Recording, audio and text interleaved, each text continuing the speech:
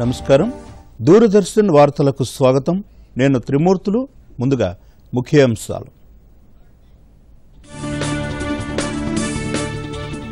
సైనిక లాంఛనాలతో ముగిసిన కల్నల్ సంతోష్ అంత్యక్రియలు. అంతిమయాత్రలో పెద్ద సంఖ్యలో పాల్గొన్న ప్రముఖులు ప్రజలు. బొగ్గుగనుల కమర్షియల్ మైనింగ్ కోసం వేలం ప్రారంభం. దేశాన్ని స్వయం సమృద్ధి చేసేందుకు భారీ ప్రయత్నం చేపట్టామన్న ప్రధాని మోదీ. ఐక్యరాజ్య సమితి తాత్కాలిక సభ్యదేశంగా ఎన్నికైన భారత్ మద్దతు తెలిపిన ప్రపంచ దేశాలకు ప్రధాని మోదీ కృతజ్ఞతలు. ఈ మధ్యాహ్నం మూడు గంటలకు ఇంటర్ ఫలితాలు విడుదల. జూలై పదకొండు నుంచి అడ్వాన్స్డ్ సప్లిమెంటరీ పరీక్షలు నిర్వహించే అవకాశం. మరింత మెరుగుపడి యాభై రెండు పాయింట్ తొమ్మిది ఐదుకు చేరుకున్న కరోనా రికవరీ శాతం ఇరవై నాలుగు గంటల వ్యవధిలో దేశంలో పన్నెండు వేల ఎనిమిది వందల ఎనభై ఒక్క పాజిటివ్ కేసులు. వివరాలు. భారత్ చైనా సరిహద్దులో వీరమరణం పొందిన కల్నల్ సంతోష్ బాబు అంత్యక్రియలను సైనిక అధికార లాంఛనాలతో నిర్వహించారు. దేశం కోసం ప్రాణాలర్పించిన అమర వీరుడికి యావత్ ప్రజానీకం అశ్రు నివాళి అర్పించింది. సూర్యాపేట సమీపంలోని స్వగ్రామం కేసారంలో సైనిక లాంఛనాలతో కల్నల్ సంతోష్ బాబు అంత్యక్రియలు జరిగాయి. వీర జవాన్కు నివాళిగా జవాన్లు గాల్లోకి మూడుసార్లు తూటాలు పేల్చి గౌరవ వందనాన్ని సమర్పించారు. ఆపై కల్నల్ సంతోష్ బాబు సతీమణి కుమారుడు బంధువులు ప్రజలు శాల్యూట్ చేశారు.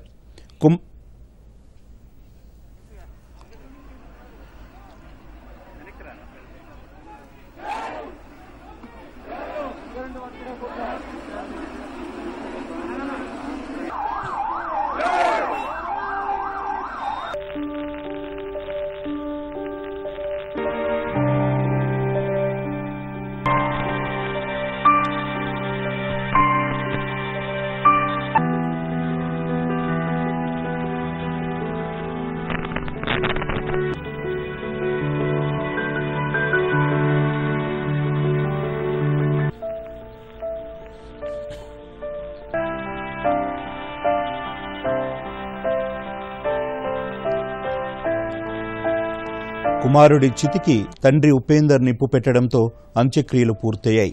అంతకుముందు కల్నల్ సంతోష్ బాబు పార్థివ దేహానికి పలువురు ప్రముఖులు నివాళులర్పించారు. శాసనమండలి చైర్మన్ గుత్తా సుఖేందర్ రెడ్డి మంత్రి జగదీష్ రెడ్డి టీపీసీసీ చీఫ్ ఉత్తమ్ కుమార్ రెడ్డి ఎంపీలు లింగయ్య యాదవ్ బండి సంజయ్ కోమటిరెడ్డి వెంకటరెడ్డి ఎమ్మెల్యేలు కిషోర్ కుమార్ సైదిరెడ్డి చిరుమర్తి లింగయ్య తదితరులు కల్నల్ సంతోష్ బాబు పార్థివ దేహాన్ని సందర్శించి నివాళులర్పించారు.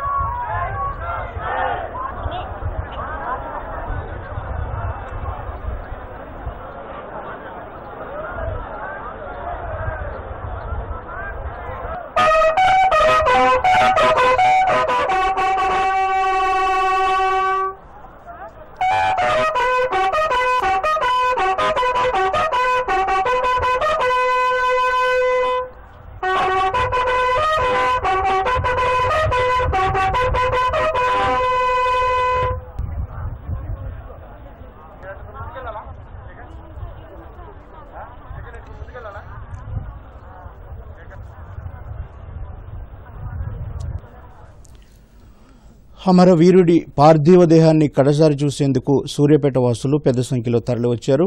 కల్నల్ సంతోష్ బాబు అమర్ రహే అంటూ బంధువులు స్థానికులు పెద్ద ఎత్తున నినాదాలు చేశారు. సుమారు ఆరు కిలోమీటర్ల పాటు సాగిన అంతిమయాత్రలో ప్రజలు పెద్ద సంఖ్యలో పాల్గొన్నారు.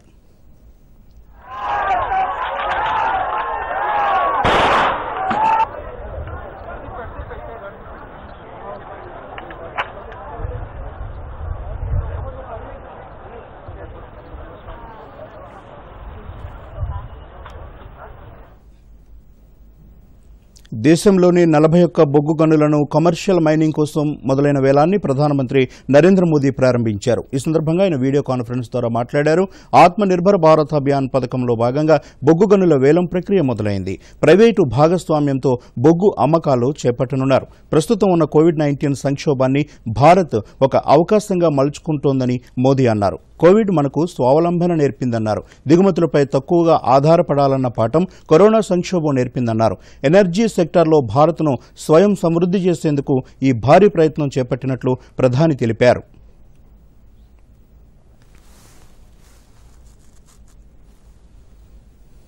देश और विदेश में इस इवेंट में हिस्सा ले रहे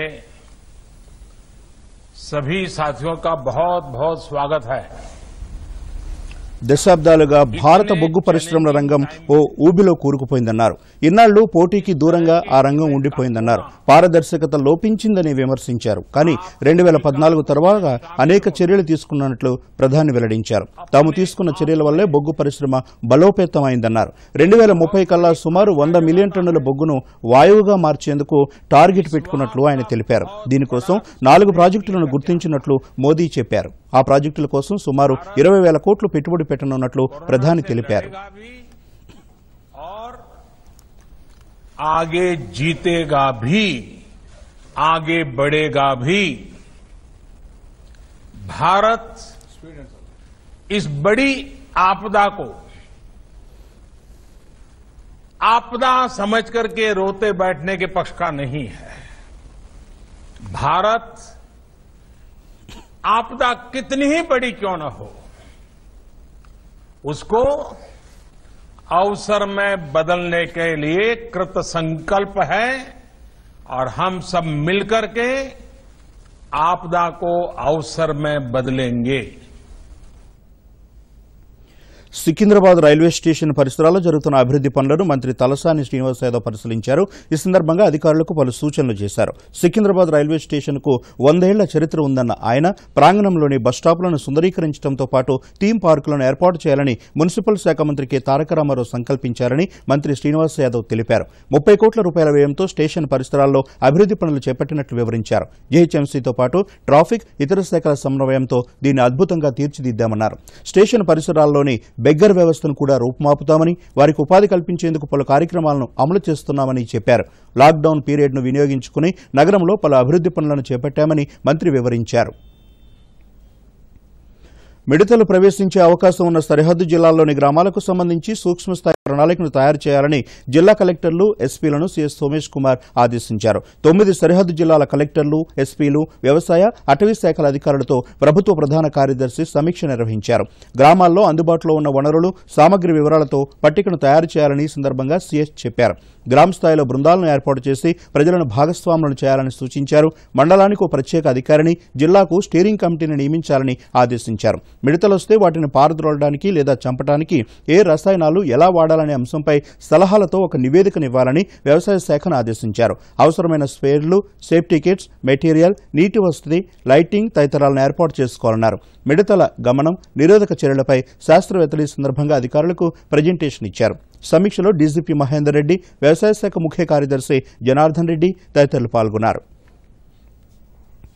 రాష్ట్రంలో మార్చిలో నిర్వహించిన inter first year second year పరీక్ష ఫలితాలు నేడు విడుదల కానున్నాయి. విద్యాశాఖ మంత్రి సవితా ఇంద్రారెడ్డి నాంపల్లిలోని ఇంటర్మీడియట్ విద్యా కమిషన్ కార్యాలయంలో మధ్యాహ్నం మూడు గంటలకు ఫలితాలను విడుదల చేస్తారని బోర్డు సెక్రటరీ తెలిపారు. రాష్ట్ర వ్యాప్తంగా దాదాపు తొమ్మిది పాయింట్ ఐదు సున్నా లక్షల మంది విద్యార్థులు ఇంటర్ పరీక్షలు రాశారు. రీకౌంటింగ్ రీవెరిఫికేషన్ ప్రక్రియకు బోర్డుకు దరఖాస్తు చేసుకోవడానికి రెండు వారాలు గడువు ఇచ్చే అవకాశాలున్నాయి. జూలై పదకొండు నుంచి అడ్వాన్స్డ్ సప్లిమెంటరీ పరీక్షలు నిర్వహించే అవకాశాలున్నాయి. ఈ నెల ఇరవై ఐదు నుంచి ప్రారంభం కానున్న ఆరో విడత హరితహారంలో ముందుగా నిర్దేశించిన రెండు పాయింట్ ఐదు కోట్ల మొక్కలు కాకుండా ఈ ఏడాది పన్నెండు పాయింట్ ఐదు కోట్ల మొక్కలు నాటాలని ప్రభుత్వం నిర్ణయించింది.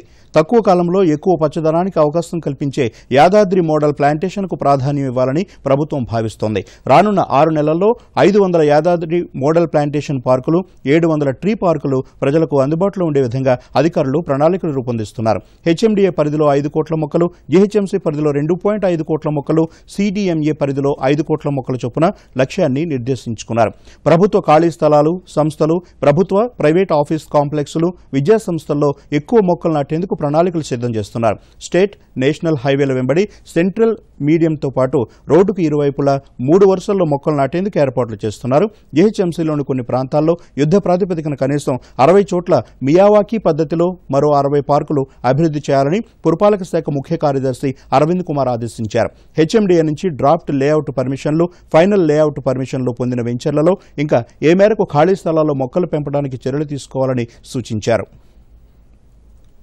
టీఎస్ఆర్టీసీ కార్గో పార్సిల్ సేవలు అందుబాటులోకి రానున్నాయి. రవాణా శాఖ మంత్రి పువ్వాడ అజయ్ కుమార్ ఈ సేవలను రేపు ప్రారంభిస్తారు. అనంతరం కార్గో పార్సిల్ ఛార్జీల వివరాలను మంత్రి తెలియజేస్తారు. లాక్డౌన్ సమయంలోనే ఆర్టీసీ కార్గో సేవలను మొదలుపెట్టినప్పటికీ ఇప్పుడు పూర్తి స్థాయిలో రంగంలోకి దిగుతోంది. ప్రస్తుతం అంగన్వాడీ కేంద్రాలకు బాలామృతం ఇతర ఆహార పదార్థాలను సరఫరా చేయడంతో పాటు పౌర సరఫరాల సంస్థకు సంబంధించి నిత్యావసర వస్తువుల రవాణాకు ఆర్టీసీ కార్గో సేవలను అందిస్తోంది. మంత్రి ఓఎస్డి కృష్ణకాంత్ కార్గో పార్టీ సేవలను సంబంధించి ప్రత్యేక అధికారిగా వ్యవహరిస్తున్నారు. రాష్ట్రంలోని నూట నలభై బస్ స్టేషన్లలో పార్సిల్ సేవలను అందించేందుకు ఏర్పాట్లు చేసినట్లు కృష్ణకాంత్ తెలిపారు. ఇందుకుగాను అదనంగా ఉన్న డ్రైవర్లు కండక్టర్లను నియమించనున్నారు. ఎంజీబీఎస్ జేబీఎస్ కరీంనగర్ వరంగల్ తదితర ప్రధాన స్టేషన్లలో ఈ సేవలు అందించేందుకు పెద్ద సంఖ్యలో సిబ్బంది అవసరం కానున్నారు. పార్సిళ్ళను బుక్ చేసుకోవటం వచ్చిన పార్సిళ్ళను బస్సులో నుంచి దించటం ఇలా రాష్ట్ర వ్యాప్తంగా ఆరు వందల నుంచి ఏడు వందల మంది అవసరమవుతారని అధికారులు అంచనా వేస్తున్నారు. గతంలో పార్సిల్ సేవలను అందించిన ప్రైవేటు సంస్థ నెలకు డెబ్బై లక్షల చొప్పున ఆర్టీసీకి చెల్లించేది. ఈ క్రమంలో ఆ సంస్థ కమిషన్లు నిర్వహణ వ్యయంతో కలిపితే ఆర్టీసీకి నెలకు ఇంతకంటే ఎక్కువ ఆదాయం వచ్చే అవకాశాలున్నాయి. అంటే పార్సిల్ సేవల ద్వారా ఏటా కనీసం పది నుంచి పన్నెండు కోట్ల వరకు ఆదాయం వచ్చే అవకాశం ఉండదని అధికారులు అంచనా వేస్తున్నారు. అటు ఏ ప్రభుత్వ రంగాల్లో కార్గో సేవలను విస్తరించవచ్చు ప్రైవేటు వినియోగదారులను ఆకర్షించేందుకు ఎలాంటి చర్యలు తీసుకోవాలి అనే అంశాలపై అధికారులు ప్రణాళికలు సిద్ధం చేస్తున్నారు. ఆంధ్రప్రదేశ్లో ఎట్టి పరిస్థితుల్లోనూ నే నేషనల్ రిజిస్టర్ ఆఫ్ సిటిజన్స్ను అమలు చేయబోమని ప్రభుత్వం స్పష్టం చేసింది. అదేవిధంగా ఈ అంశానికి సంబంధించి గతంలో ప్రకటించిన విధానానికే కట్టుబడి ఉన్నామని తెలిపింది. కేంద్ర ప్రభుత్వం చేపడుతున్న ఎన్ఆర్సీ ఎన్పీఆర్కు సంబంధించి ఆంధ్రప్రదేశ్ శాసనసభ బుధవారం ఒక తీర్మానాన్ని ఆమోదించింది. ఉప ముఖ్యమంత్రి అంజాద్ భాషా అసెంబ్లీలో ఈ తీర్మానాన్ని ప్రవేశపెట్టారు. ఈ సందర్భంగా ఆయన మాట్లాడుతూ ఎన్పీఆర్ రెండు వేల ఇరవైలో కొత్తగా చేర్చిన అంశాలతో ముస్లింలలో భయాందోళన పెరిగాయన్నారు. అందువల్ల రెండు వేల పది నాటి ఫార్మాట్ ప్రకారమే ఎన్పీఆర్ అమలు చేయాలని కేంద్రాన్ని కోరారు. ఆ మేరకు ఎన్పీఆర్ రెండు వేల ఇరవైలో కేంద్ర ప్రభుత్వం మార్పులు చేయాలని స్పష్టం చేశారు. రాష్ట్రంలో ఎట్టి పరిస్థితుల్లోనూ ఎన్ఆర్సీని అమలు చేయబోమని గతంలో సీఎం అన్నారని ఆయన ప్రస్తావించారు. ఈ బిల్లుకు మూజువాని ఓటుతో స్పీకర్ ఆమోదం తెలిపారు.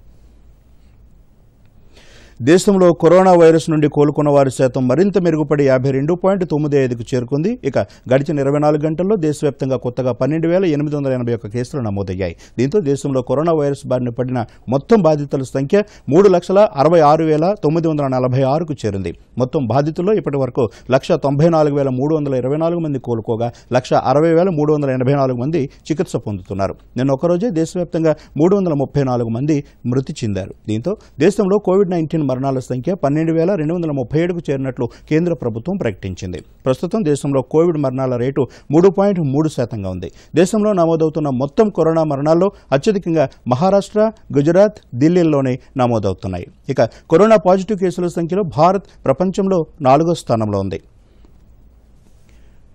ఇదిలా ఉండగా జూన్ పదిహేడవ తేదీ వరకు దేశవ్యాప్తంగా అరవై రెండు లక్షల నలభై తొమ్మిది వేల ఆరు వందల అరవై ఎనిమిది శాంపిల్స్ను టెస్ట్ చేసినట్లు ఐసీఎంఆర్ ప్రకటించింది. గడిచిన ఇరవై నాలుగు గంటల్లో లక్ష అరవై ఐదు వేల నాలుగు వందల పన్నెండు శాంపిల్స్ టెస్ట్ చేసినట్లు వివరించింది.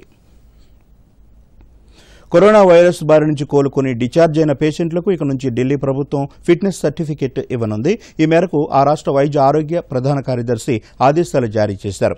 పూర్తిగా కోలుకుని ఆరోగ్యవంతులుగా డిశ్చార్జ్ అయిన కోవిడ్ రోగుల వల్ల సమాజానికి ఎటువంటి హాని ఉండదని అలాగే కోలుకున్న బాధితుల పట్ల కొన్ని అపోహలు ఉన్న నేపథ్యంలో ఈ మెడికల్ ఫిట్నెస్ సర్టిఫికెట్తో మళ్ళీ సాధారణ జీవితాన్ని కొనసాగించేందుకు వీలుంటుందని పేర్కొంది. ఇక ఢిల్లీ ప్రభుత్వం అవలంబిస్తున్న ఈ విధానాన్ని దేశవ్యాప్తంగా విస్తరించే అంశాన్ని కూడా కేంద్రం పరిశీలిస్తోంది. పీఎం కేర్ ఫండ్స్ ద్వారా వచ్చిన విరాళాలతో తయారైన మేడ్ ఇన్ ఇండియా వెంటిలేటర్లను త్వరలోనే ప్రభుత్వానికి అందజేస్తామని స్కానరే టెక్నాలజీస్ తెలిపింది. ఈ ఆగస్టు ముప్పై ఈ ఆగస్టు కల్లా మూడు ముప్పై వేల వెంటిలేటర్లను అందజేస్తామని ఆ సంస్థ చెప్పింది. ముఖ్యమంత్రులతో వీడియో కాన్ఫరెన్స్ సందర్భంగా ప్రధాని మోదీ కూడా ఈ విషయాన్ని వెల్లడించారు. ఐక్యరాజ్య సమితి భద్రతా మండలి తాత్కాలిక సభ్యత్వ ఎన్నికల్లో భారత్ విజయం సాధించడం పట్ల ప్రధానమంత్రి నరేంద్ర మోదీ హర్షం వ్యక్తం చేశారు. ఐరాస ఎన్నికల్లో ఎలాంటి పోటీ లేకుండా భారత్ విజయం సాధించడం గొప్ప పరిణామమన్నారు. ఈ మేరకు ట్విట్టర్ వేదికగా స్పందించిన మోదీ తమకు దక్కిన అవకాశాన్ని సద్వినియోగం చేసుకుంటామని పేర్కొన్నారు. సభ్య దేశాలతో కలిసి పనిచేస్తామని తెలిపారు. శాంతి సామరస్యత సమానత్వం భద్రత వంటి అంశాలపై పోరాటంలో భారత్ తన పంథాను కొనసాగిస్తుందని మోదీ స్పష్టం చేశారు. కాగా బుధవారం రాత్రి జరిగిన ఎన్నికల్లో మొత్తం నూట తొంభై మూడు ఓట్లు పోలవగా భారత్కు నూట ఎనభై నాలుగు ఓట్లు దక్కాయి. దీంతో రెండేళ్ళ పాటు ఆ స్థానంలో కొనసాగనుంది. భారత్ చైనా సరిహద్దుల్లో తలెత్తిన ఉద్రిక్తతలను చర్చల ద్వారా పరిష్కరించుకోవాలని ఈ వ్యవహారంలో ఇరు దేశాలు సంయమనాన్ని పాటించాలని అమెరికాతో పాటు యూరోపియన్ యూనియన్ ఐక్యరాజ్య సమితులు విజ్ఞప్తి చేశాయి. భారత్ చైనా సరిహద్దులో తలెత్తిన ఉద్రిక్తతలపై ఐక్యరాజ్య సమితి ప్రధాన కార్యదర్శి యాంటోనీ గుటెరస్ ఆందోళన వ్యక్తం చేసినట్లు ఐక్యరాజ్య సమితి అధికార ప్రతినిధి తెలిపారు. ఈ ఘర్షణలో రెండు దేశాల సైనికులు మృతి చెందడం విచారకరమన్నారు. సరిహద్దు వివాదాన్ని భారత్ చైనాలు చర్చల ద్వారా పరిష్కరించుకోవాలని గుటెరస్ అభిప్రాయపడుతున్నారని తెలిపారు. అమరులైన జవానుల జవానులకు గుటెరస్ సంతాపాన్ని తెలియజేశారని అధికార ప్రతినిధి చెప్పారు. ఇలా ఉండగా భారత్ చైనా సరిహద్దుల్లో నెలకొన్న తాజా పరిస్థితిని నిశ్చితంగా పరిశీలిస్తున్నట్లు అమెరికా తెలిపింది. సరిహద్దు సంస్థలను ఉభయ దేశాలు సామరస్యంగా పరిష్కరించుకోవాలని అధ్యక్షులు డొనాల్డ్ ట్రంప్ కోరుతున్నారని యుఎస్ విదేశాంగ శాఖ ఒక ప్రకటనలో వెల్లడించింది. మరోవైపు భారత్ చైనా దళాల మధ్య గల్వాన్ లోయలో జరిగిన ఘర్షణలో దాదాపు ముప్పై ఐదు మంది చైనా సైనికులు మృతి చెందినట్లు అమెరికా ఇంటెలిజెన్స్ వర్గాలు అంచనా వేస్తున్నట్లు ఫ్రీ ప్రెస్ జర్నల్ తన కథనంలో పేర్కొంది.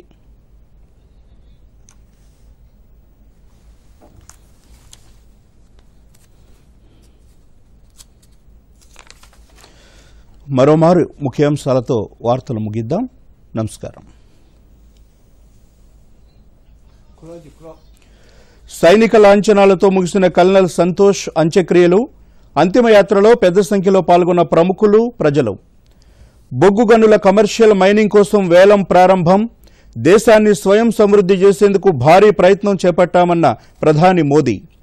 ఐక్యరాజ్య సమితి తాత్కాలిక సభ్యదేశంగా ఎన్నికైన భారత్ మద్దతు తెలిపిన ప్రపంచ దేశాలకు ప్రధాని మోదీ కృతజ్ఞతలు. ఈ మధ్యాహ్నం మూడు గంటలకు ఇంటర్ ఫలితాలు విడుదల జూలై పదకొండు నుంచి అడ్వాన్స్డ్ సప్లిమెంటరీ పరీక్షలు నిర్వహించే అవకాశం. మరింత మెరుగుపడి యాభై రెండు పాయింట్ తొమ్మిది ఐదుకు చేరుకున్న కరోనా రికవరీ శాతం ఇరవై నాలుగు గంటల వ్యవధిలో దేశంలో పన్నెండు వేల ఎనిమిది వందల ఎనభై ఒక్క పాజిటివ్ కేసులు. వార్తలు సమాప్తం. నమస్కారం.